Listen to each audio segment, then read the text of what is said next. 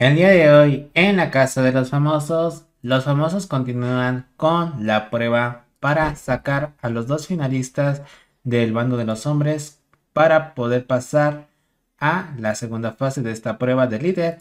Como sabes, Ariana y Talí pasaron por las mujeres y ahora es turno de los hombres decidir finalmente quién va a pasar. Fernando es uno de ellos, ya que solamente hizo 58 segundos en el reloj.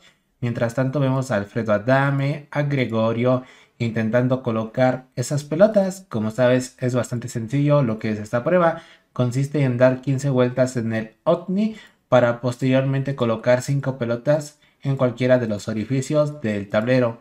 Bueno, todos los famosos rápidamente se apoyaban entre gritos y emociones, donde vimos que Adame pues iba de una por una, mientras todos le decían danza todas. Gregorio pues incluso mandaba, mandaba, mandaba y ninguna se metía al orificio.